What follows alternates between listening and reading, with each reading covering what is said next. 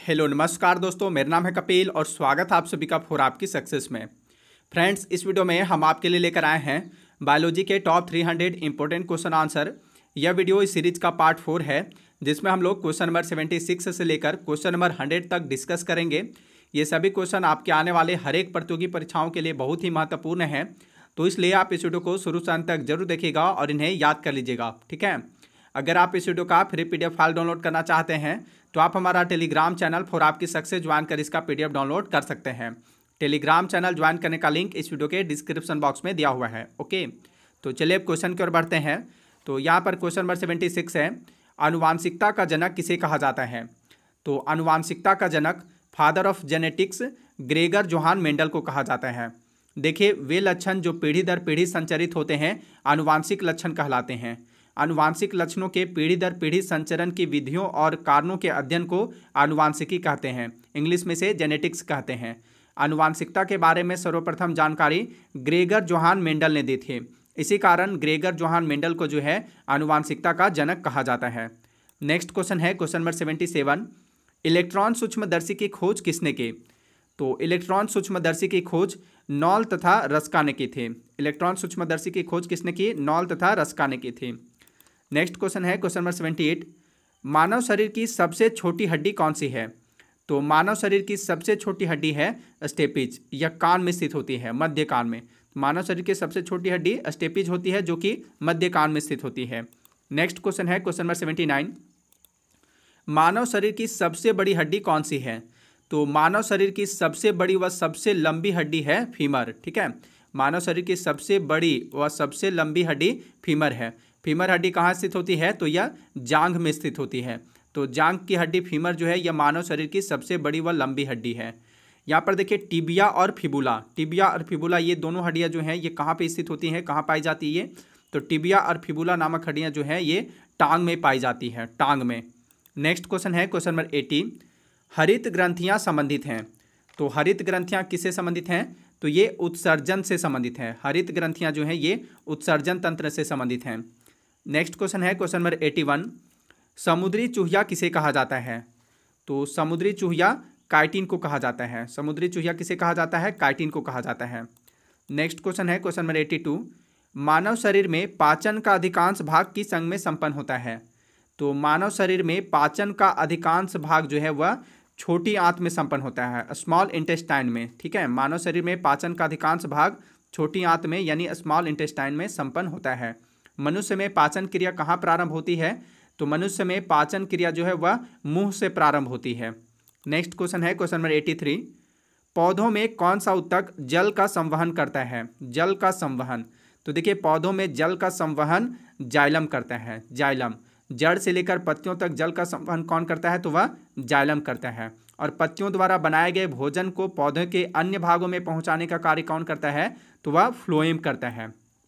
तो जल का संवहन जो है जालम करता है और भोजन का संवहन जो है वह फ्लोएम करता है। नेक्स्ट क्वेश्चन है, question number eighty four. BCG टीके का इस्तेमाल आमतौर पर किससे बचने के लिए किया जाता है? तो बीसीजी बीसीजी का टीका बीसीजी टीके का इस्तेमाल जो है किससे बचने के लिए किया जाता है? तो यह यक्षमा ट्यूबरक्लोसिस यानी टीबी रोग से बचने के लिए किया जाता है। बीसीजी का टीका जो है टीबी रोग के रोकथाम के लिए जो है दिया जाता है बीसीजी का टीका। बीसीजी का फुल फॉर्म क्या होता है? तो बीसीजी का फुल फॉर्म होता है बेसिलस कालमेट ग्वेरिन क्या होता है फुल फॉर्म बीसीजी का? बेसिलस कालमेट ग्वेरिन ठीक है? नेक्स्ट क्वेश्चन है क्वेश्चन नंबर एटी फाइव गाय और भैंस के थनों में दूध उतारने के लिए किस हार्मोन की सुई लगाई जाती है? तो गाय और भैंस के थनों में दूध उतारने के लिए ऑक्सीटोसिन नामक हार्मोन की सुई लगाई जाती है। गाय और भैंस के थनों में दूध उतारने के लिए ऑक्सीटोसिन हार्मोन की सुई लगाई जाती है। नेक्स्ट क्वेश्चन है question number eighty six pineal ग्रंथि कहाँ स्थित होती है? आंसर है मस्तिष्क में। पिनियल ग्रंथि कहाँ स्थित होती है? तो पिनियल ग्लैंड जो है, यह मस्तिष्क में स्थित होती है। नेक्स्ट क्वेश्चन है question number eighty seven. Oestrogen का स्राव किससे होता है? किस किस, किसके द्वारा होता है? तो एस्ट्रोजन का स्राव किसके द्वारा होता है? तो एस्ट्रोजन का स्राव जो है, एस्ट्रोजन का स्राव, इसका स्राव इसका स्राव ग्रेफियन पुटिकाओं द्वारा होता है। एस्ट्रोजन क्या है? तो एस्ट्रोजन एक स्त्रीलिंग हार्मोन है, जो महिलाओं के प्रजनन तंत्र तथा द्वितीयक लैंगिक लक्षणों जैसे स्तनों, दुग्ध ग्रंथियों, गर्भाशय एवं योनि आदि के विकास एवं नियमन के लिए उत्तरदायी है। एस्ट्रोजन का स्राव किसके द्वारा होता है? तो एस्ट्रोजन का स्राव ग्रेफियन पुटिकाओं द्वारा होता है। अगला प्रश्न है, ब्रेन ट्यूमर को हटाने और कैंसर के उपचार में इस्तेमाल किया जाने वाला समस्थानिक है। तो वह समस्थानिक है cobalt sixty. Cobalt sixty brain tumour को हटाने और कैंसर के उपचार में इस्तेमाल किया जाने वाला समस्थानिक है, कोबाल्ट सिक्सटी। नेक्स्ट क्वेश्चन है, क्वेश्चन नंबर एटी नाइन। निम्न में से कौन सा पशु अपना लिंग बदल सकता है? तो वह पशु है, वह है घोंघा, स्नेल। घोंघा क्या है? तो देखिए, घोंघा जो है, घोंघा क्या करते हैं? जब वे जन्म लेते हैं, जब पैदा होते हैं ये, तब वे मेल होते हैं। बाद में वे अपनी लाइफ में अपने लिंग को जो है, अपने सेक्स को चेंज कर लेते हैं, फीमेल में। तो जन्म जन्म लेते हैं, उस समय ये मेल होते हैं, घोंघा। जन्म लेने के समय मेल होते हैं और उसके बाद अपनी लाइफ में वे अपने लिंग को चेंज कर लेते हैं फीमेल में। तो इसका राइट आंसर हो जाएगा ऑप्शन बी, घोंघा। अपना लिंग बदल सकता है तो वह है घोंघा। नेक्स्ट क्वेश्चन है, क्वेश्चन नंबर नाइन्टी नींबू का डायबिक रोग किसके कारण होता है? तो नींबू का एक रोग है, डायबिक रोग। डायबिक रोग या किसकी कमी के कारण होता है? तो यह तांबा की कमी के कारण होता है। नींबू में तांबा की कमी के कारण जो है, डायबिक रोग, नींबू का डायबिक रोग होता है। नेक्स्ट क्वेश्चन है, क्वेश्चन नंबर नाइन्टी वन। जिस रूप में पौधे नाइट्रोजन प्राप्त करते हैं, वह है। तो वह है नाइट्रेट। पौधे जो हैं, नाइट्रोजन नाइट्रेट के रूप में प्राप्त करते हैं। नेक्स्ट क्वेश्चन है, क्वेश्चन नंबर नाइन्टी टू। आलू का खाने योग्य भाग होता है। तो आलू का खाने योग्य भाग कौन सा होता है? तो आलू का खाने योग्य भाग तना होता है, ठीक है? तना। आलू किस कुल से संबंधित है? तो आलू का पौधा सोलेनेसी कुल से संबंधित है। सोलेनेसी कुल का पौधा है आलू। नेक्स्ट क्वेश्चन है, question number ninety three. एस्चेरिया Escherichia coli कहाँ पाए जाते हैं? तो एस्चेरिचिया कोलाई एस्चेरिचिया कोलाई यह एक तरह का जीवाणु है जो आमतौर पर स्वस्थ मनुष्य की आंत में पाया जाता है, ठीक है? तो एस्चेरिचिया कोलाई कहाँ पाए जाते हैं? तो ये मनुष्य की आंत में पाए जाते हैं।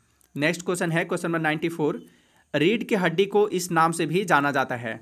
तो रीढ़ की हड्डी बैकबोन को और किस नाम से जाना जाता है? तो इसे इसे मेरुदंड के नाम से जाना जाता है स्पाइन के नाम से, ठीक है? रीढ़ की हड्डी को जो है मेरुदंड के नाम से भी जाना जाता है। नेक्स्ट क्वेश्चन है question number ninety five haemoglobin कहाँ पाया जाता है? तो हीमोग्लोबिन जो है, यह कहाँ पाया जाता है? तो यह रक्त में पाया जाता है ब्लड में।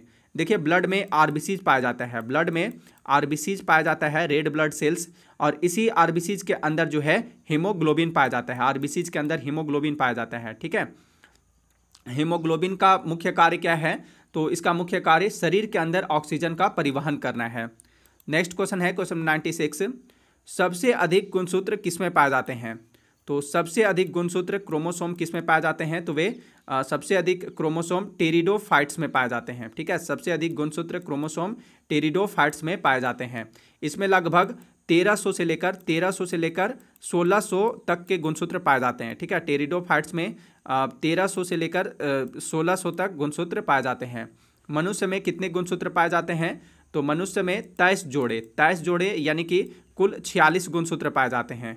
मेढक में मेढक में छब्बीस गुणसूत्र पाए जाते हैं और कबूतर में अस्सी गुणसूत्र पाए जाते हैं। नेक्स्ट क्वेश्चन है, question number ninety seven. Hammer, anvil और स्टीरप हड्डियाँ हैं जो शरीर के किस अंग में पाई जाती है? तो हैमर, एनविल और स्टीरप ये जो है हड्डियाँ हैं, ये हमारे शरीर के कान में पाए जाते हैं, कान में, मध्य कान में।